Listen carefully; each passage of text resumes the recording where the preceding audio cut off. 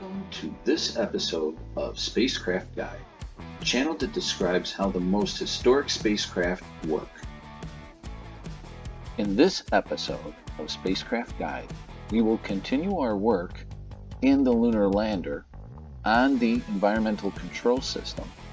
And our next uh, component will be the suit cabin environment control system pressure indicator.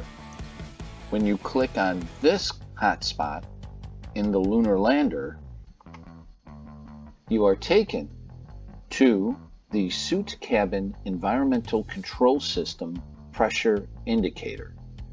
What this does on the indicator in suit, suit PSA scale, displays suit, suit, displays suit circuit pressure in pounds per square inch, sensed downstream of suit gas supply connectors, and in cabin PSA, cabin PSA scale, display cabin interior pressure pounds per square inch sensed by aneroid sensor on cabin pressure sensor switch.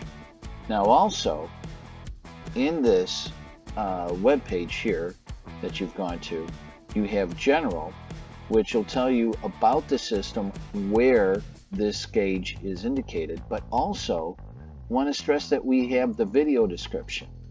If you would like to see how the video or see the video instead of read about it and get more of a description, you simply click on video and that and it takes you to the basics of the environmental control system of the Apollo lunar lander video, which describes all of the basics of the lunar module's environmental control system.